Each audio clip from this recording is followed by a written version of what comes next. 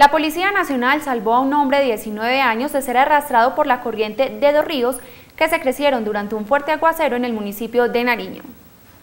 Muy agradecido con la policía que José Didier y Franco Incapié, el joven de 19 años que fue rescatado por varios uniformados de las aguas de los ríos Venus y Samaná, que se crecieron durante un aguacero y se unieron formando un solo caudal a la altura del corregimiento Puerto Venus de Nariño, en el oriente antioqueño.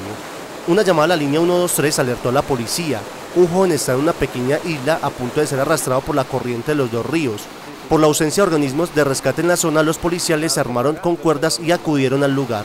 Una vez en el sitio ubicaron puntos fijos, amarraron las cuerdas y en medio de las fuertes lluvias rescataron a Franco Incapié, quien afirmó quedarse corto de palabras para agradecer por su rescate.